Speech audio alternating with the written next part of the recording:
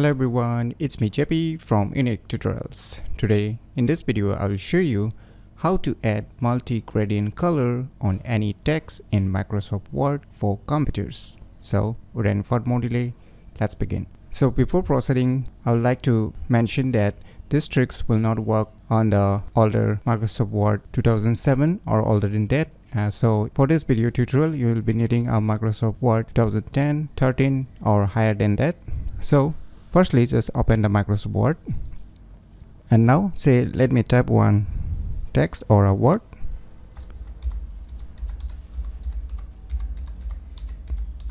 So I type one text right? So in order to add a multi-gradient color on the respective text or word in your Microsoft Word what you need to do is just select the text. You want to add a multi-gradient color. Now after that you can see here one icon written font color right just near to it there is a down arrow. Just click on it. Now at the bottom you will see here gradient color. And now you will see here at the bottom more gradients. Just click on it. Now on the right panel you can see a one option gradient fill just click on it.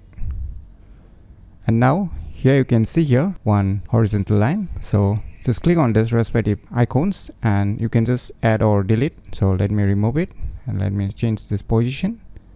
You can add multi start or stop points.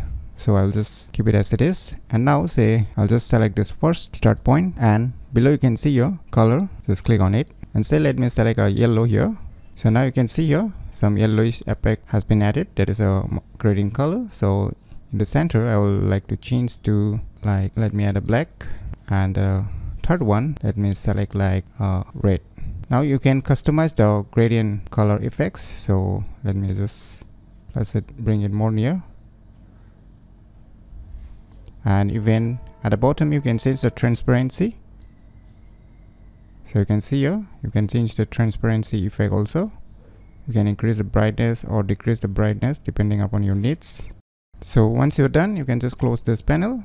Now you can see here we have finally add a multi-gradient color on any text in Microsoft Word for computers. So by using these cool tricks you can add a multi-gradient color on any text in Microsoft Word.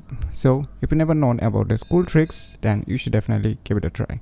So if you find this video tutorial useful please click on the thumbs like button. And if you're new to our channel click on the subscribe button. And lastly thanks for watching